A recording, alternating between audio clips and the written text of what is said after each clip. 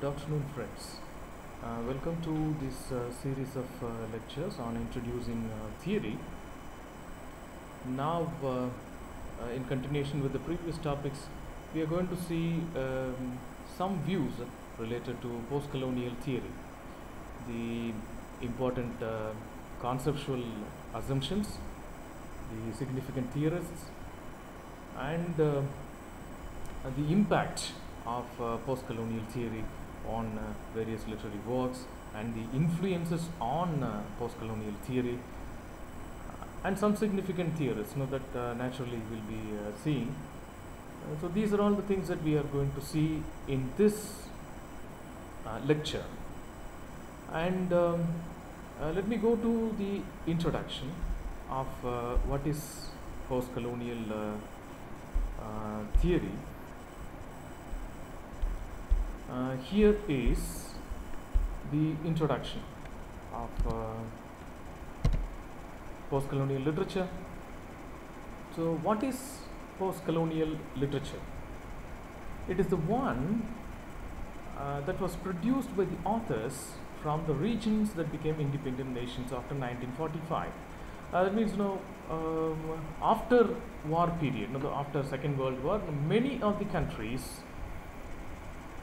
have become uh, independent nations, and uh, this collapse of uh, the Europe-centered power power structure caused the emergence of a new work order. So there is a new world order uh, that was established, and the end of uh, European colonization during the 1950s. Uh, so it has created many independent nations with diversified political, cultural, and religious identities. So they were actually counter narratives interrogating the rationale of uh, empire. They also discuss about the relationship between the native and the colonizer, and they also discuss about the impact of colonialism in altering the social order. Uh, and these are the significant elements of post-colonial literature. Now, the uh, literature that uh, was written after uh, the end of colonial rule is known as post-colonial literature.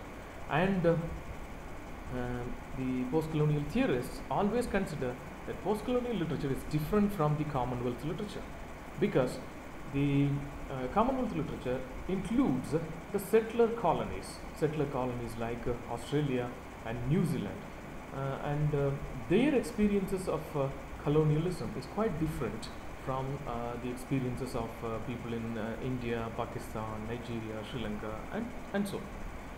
And uh, some of the writers who were uh, considered to be the important writers in uh, post-colonial literature, there are many, but uh, let us see few Raja Rao, Salman Rushdie, and some Nigerian writers like Chinua Achebe, Wole Soyinka, uh, Kenyan writer Ngugi wa, wa Thiong'o, and uh, Derek Walcott, to name a few of uh, uh, writers. So, with this beginning, let us go to the beginnings of the post-colonial criticism.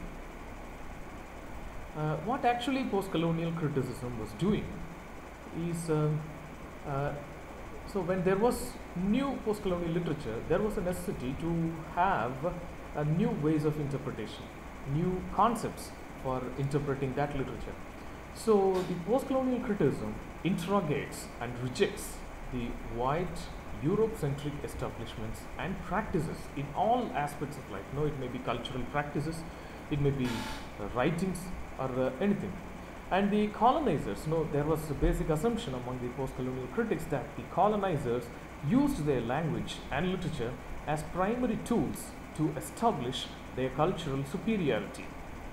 And they created an impact on the colonized subjects and their knowledge systems cultural practices and uh, creative process. They are all equally good as their economic strength, technological prowess, and military might. So, what is that? No, they have established, they have created an impact that whatever is European, whatever is the is West, and whatever is the concept of the white is superior, and uh, the rest is considered as inferior other. The interdisciplinary study uh, post-colonial criticism is an interdisciplinary study that consists of historical, political, cultural, philosophical, and artistic structures of uh, colonial domination as well as resistance. Right. So they, there were writings, probably almost all the post-colonial literature were written uh, as forms of resistance to the uh, colonizers' attempts to establish authority.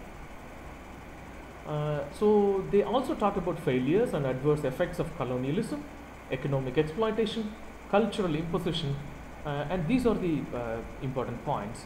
And they vehemently rejected the claims of the colonizer. Uh, writings from India, Sri Lanka, Nigeria, Guyana, uh, sorry, Ghana, and Ireland, now they all remain as testimonies to the cruel uh, colonial violence. So when it comes to uh, the next important topic, the salient features of post-colonial theory, it is primarily anti-imperialism. Now, imperialistic notion. It is not only political imperialism. Now, after uh, uh, independence, uh, what people experienced is uh, cultural imperialism, and so they were against uh, the imperialism. Uh, anything that is imposed on them, the um, cultural concepts, cultural practices of the white people, of the colonizer. Uh, they focus on culture and uh, cultural national identity displacement. It may be both physical displacement and uh, uh the cultural displacement, where people are uh, people forced to migrate uh, from their places to various parts. You know, to Africa. Sorry, people from Africa are forced to move to Europe and to Caribbean, and there they were forced to follow some other culture and uh, the, the issues of race, ethnicity, indigeneity, language, gender, identity, class, and power structure, these are all uh, have become the central themes of uh, discussion. So these are the salient features of uh, literature, of uh, post-colonial theory. So in order to comprehend and to interpret literary works, uh, so there is a new theoretical phenomenon. Now this post-colonial theory emerged in order to discuss the new variety of writing that is known as post-colonial literature. So it focuses on literature produced in, uh, in, basically in three continents, in Asia, in Africa, and in America. Uh, so when we move on to the next one, the, the influences, you know, what are the basic influences on post-colonial theory? Uh, let us see uh, the notions, you know, various fields. Now, already I have told you that it is an interdisciplinary approach, and so uh, it has derived many concepts from many fields. The notions of patriarchy and patriarchal power, power structure, they were derived from the feminist theories, and uh, the focus on social and economic conditions. So that was the contribution of uh, Marxism. The ideas about identity formation and its unstable nature, uh, the how uh, identities are fluidic in nature. So that was contributed by post-structuralist thought and uh, more specifically by Derrida's deconstruction. And Foucault's perspectives on discourse and relationship of power and knowledge. These are all primary influences on uh, post-colonial theory. And uh, when it comes to uh, the analysis that Peter Barry, you know, how post-colonial right uh, theory works, Peter Barry in his beginning theory identifies there are three phases of post-colonialism as uh, uh, they are adopt, adapt, and adapt. The first phase, uh, in the first phase, the writers and critics, they follow all European artistic forms and literary canons to express their experiences and to analyze literary texts. In the second phase, they begin to modify them according to the demands of their expression and in the third they are totally independent. You know they come out with their own uh, modes of writing their own uh, principles of uh, interpretation. Right? So that is uh, what uh, about influences. And then let us move on to the significant theorists. Significant theorists of um, uh, post colonial uh, theory. Uh, it begins with uh, Frantz Fanon. he began in his work, The Wretched of the Earth, his ideas about the evil effects of colonization. Uh, what is that he discusses? Now he discusses about formation of national identity and the role of violence in it. So that is what his important discussion.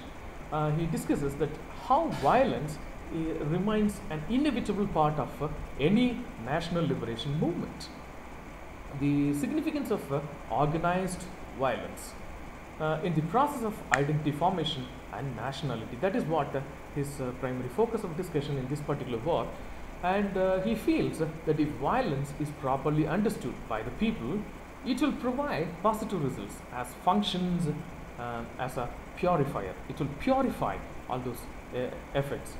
Uh, in his work, Black Skin, White Masks, uh, another work, so he talks about native identity uh, and how native identity is created by the colonizer uh, because the colonizer creates history and he is the one who gives an identity to the native. So it may be anything, no? He may uh, portray in whatever way he wish. Right. Uh, so uh, here, no, they discussed about various uh, things, especially uh, uh, Fanon talks about a colonizer who creates an impression that the colonized region will not see progress or development if they leave. So that is how they make an attempt to establish uh, an important uh, thing on the people, on the colonized, that once if they leave, uh, then the land may not see development or progress. And the next important uh, theorist uh, in our context is uh, Aimé Césaire. He explored the relationship between civilization and colonization. He is very much oriented towards the political aspects of colonialism and compares the colonial practices with the savagery and cruelty of Nazism. Césaire, uh, Césaire finds the cultural patterns, economic systems, and religious practices of uh, Europe are all sources of colonization. So he has no idea about what is. Um, uh, he, he, he considers that all European models of uh, civilization as a sick civilization.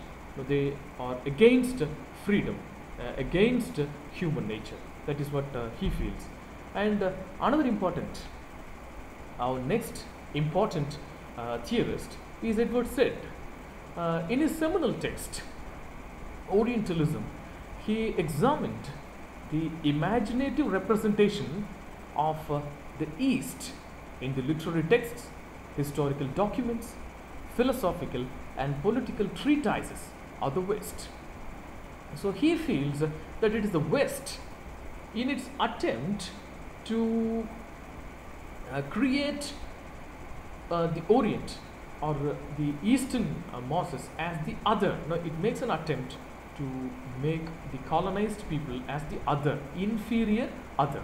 No, because uh, the designs of uh, Eurocentric standardization, no, he uh, speaks about these things. You know, how the Eurocentric, uh, the, the, the European powers uh, attempt to standardize in representing the colonized as others. Others means here they make a discrimination that the Europeans and the others.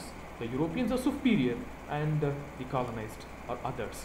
So they attach all uh, uh, the negative attributes to uh, the others, to the Eastern people. They attach stupidity, superstition, laziness. They're all attributed to the others.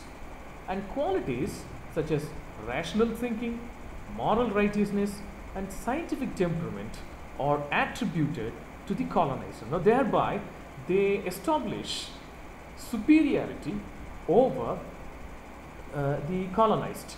They establish their uh, language is superior, their cultural practices, their food habits, everything is superior. And uh, their ethical uh, considerations, their religious practices, everything uh, they represent as their superior and uh, the practices of uh, the other as inferior. So it happens, the subjugation of uh, the colonized happens in multiple forms, and uh, whatever the Oriental scholarship, the cultural artifacts. So it may, they may be literature, written documents, or uh, they may be uh, architecture or whatever. They are rejected as inferior without being examined. Now they don't even examine um, what is the quality, what is uh, what are the different qualities that uh, uh, a- Oriental scholarship, Oriental knowledge systems possess. So Edward Said, uh, believes that the West attributes all negative traits like uh, irrationality and powerlessness to the East, and all positive elements like power, political and moral uh, sensibility, ethical uh, sensibility uh, with the West.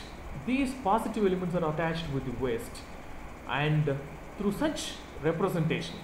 Now, what is that achieved by the uh, Western powers is that through such a representation, the West convinces itself that the Orient requires domination and guidance in order to move in the process of civilization. So they call it as a process of a civilization. So similar kind of thing uh, happens in uh, uh, in uh, Joseph Conrad's Heart of Darkness, you know, where uh, uh, the people in Europe consider their duty to civilize. Now they don't call it uh, uh, colonizing missions, uh, rather they call it as civilizing missions. No, uh, they say or they uh, convince themselves as it is their responsibility to educate, to civilize the uncivilized people of uh, Africa, of uh, Asia, and uh, other parts of the world. Uh, but uh, the actual scenario is quite different. So, uh, not only in the post-colonial writers, no, we could find uh, about uh, the, the the impact of colonization in uh, in the writings of Joseph Conrad, in the writings of George Orwell. I think many of you many of you might have read that short story, "Shooting an Elephant" by George Orwell, which manifests not only the problems of the colonized, but the problems of uh, the colonizer also. Uh, then the next important uh, theorist of post-colonial theory is Gayatri Chakravorty Spivak, and she was influenced by Marxist ideology, especially by the concepts of Antonio Gramsci. And he has great influence on Spivak as uh, her key element of analysis. You know, she derived the key element of uh, the, the key word of her discussion, the subaltern, from the Gramscian construction. And uh, the primary focus of uh, Spivak is the heterogeneous nature of uh, colonial experience. She feels that uh, the colonial experience of the people who uh, who belong to or who exist in the lower strata of uh, the society, like uh, the laborers, the peasants, the tribals, and other uh, working class people, the workers in the countryside, uh, is quite different from the experience, from the colonial experience of the upper class people. So uh, she calls that colonial experience is not same or similar. Uh, rather, it is a heterogeneous nature. Now, uh, people who belong to different strata of society experience uh, colonialism in different ways, and not in the same way. That is what a primary focus. And then, uh, the, uh, when it comes to women, especially Indian women, she feels that Indian women are doubly marginalized because of uh, the two factors economic dependence and gender discrimination. That uh, women are um, dependent on um, uh, male uh, male gender and then they were discriminated. So that is what uh, uh, the uh, discussion uh, that Spivak speaks about when it comes to Indian women. And uh, she deviated from the focus, the focus from the discussions of impact of capitalism to the questions of cultural uh, uh, difference. And uh, in her work, supplementing Marxism, she speaks about the exclusion of a subaltern from the economic system, from the economic system of a particular country. So that is how she uh, speaks about. And the next is uh, Homi Bhabha, who is considered uh, Homi Bhabha, Edward Said, and uh, Gayatri Chakravorty Spivak were uh, considered with the holy trinity of uh, post-colonial uh, uh, theory. And here, uh, Homi Bhabha focuses much about psychic experience rather than historical or political experience.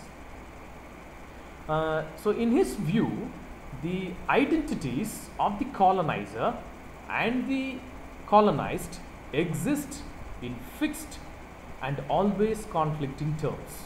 So, the identities, you know, they uh, they are established in conflicting terms, you know, uh, right opposite to what is colonizer and uh, colonized.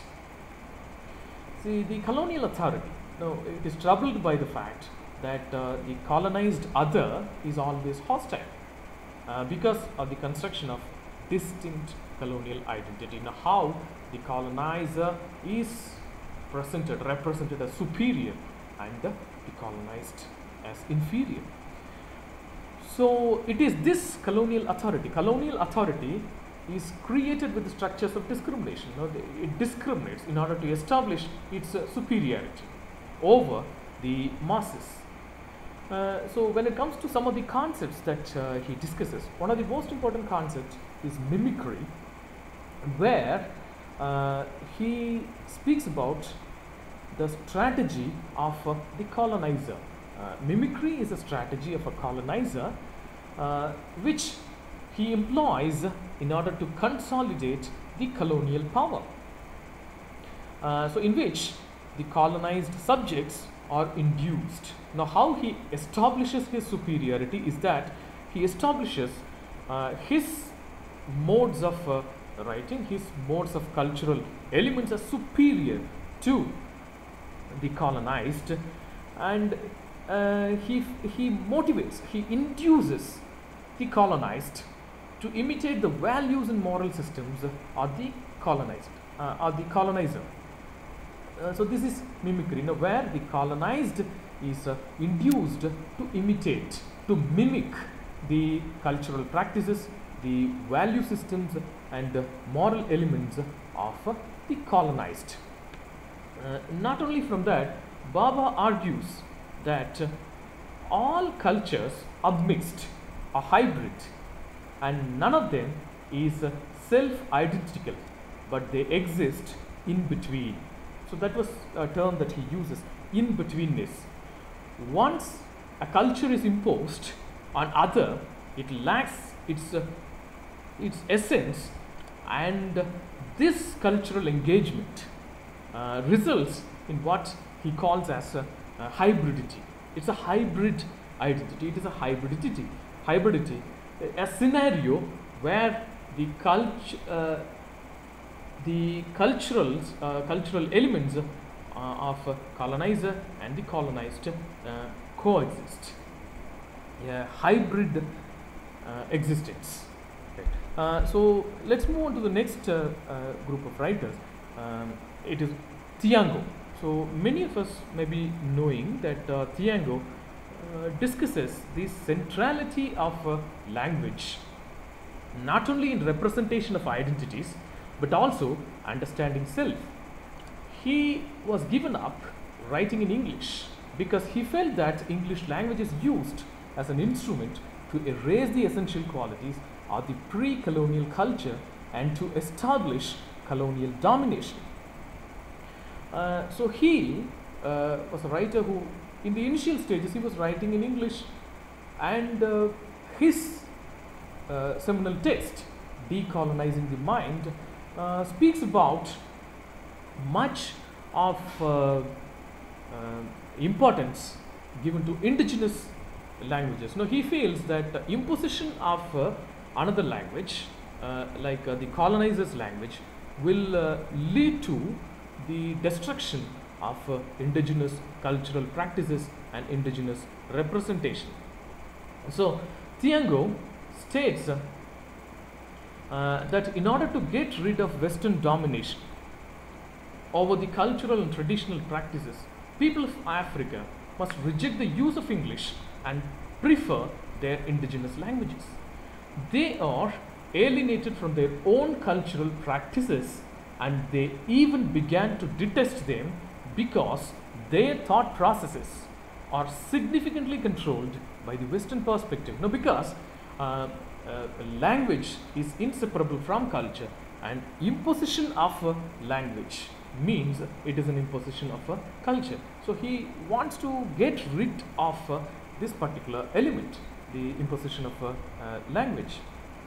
Uh, similarly, the next uh, theorist, Kamau Brathwaite, who belongs to the Caribbean uh, islands, he also examines the uh, problems of uh, choice of the language and the significance of African culture in the literary discourses of the Caribbean.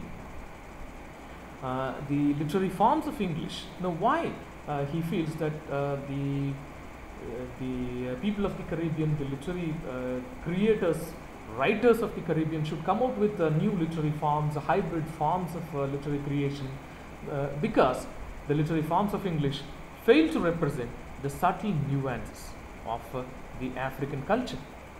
And so he advocates uh, the, the African cultural elements should be represented, and uh, he feels there is no difference between the dialectical variation, the, di- uh, the dialect that is uh, dialect of English that has been used in the Caribbean islands as inferior. No, he rejects that concept. Uh, he is not accepting that um, uh, the dialect of um, uh, Caribbean is not suitable for literary production. He uses uh, those literary, uh, the same language for artistic creation. So he asserts that African cultural elements are inseparably intertwined in the Caribbean culture, and any attempt to examine it without paying attention to the presence of African tradition will be futile. So uh, these were the views that uh, of uh, many of the writers uh, have brought out. And uh, in the conclusion, know, we can say that uh, post-colonial theory is not of uh, um, a homogeneous na- nature. It is having multiple influences. Some gave importance to one aspect, the psychological aspect. Um, even uh, Fanon was very much influenced by the psychological aspects, and even uh, Homi Bhabha used it. Whereas uh, Edward Said and uh, Gayatri Chakravorty Spivak you know, focused on the uh, other concepts. And uh, this uh, theory uh, was about the modes of representation. During some time, in the initial phases of uh, post-colonial literature, uh, people began, uh, people used the modes of writing, the modes of literary interpretation of uh, the colonizer.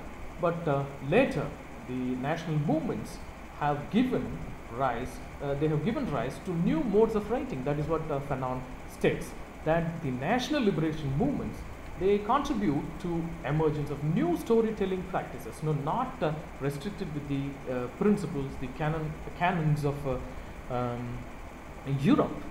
Uh, and they narrate the cultural practices of the pre-colonial era to the masses and uh, post-colonialism uh, became to be known as neo-colonialism from the 1990s uh, because you all may be knowing the reason that uh, it is no more a political domination but rather it's an economic domination. Now after globalization it has become uh, a, a- an economic domination. So political uh, uh, post-colonial critics attempt to locate the colonial practices in the literary text and the socio-cultural and historical factors that contribute to them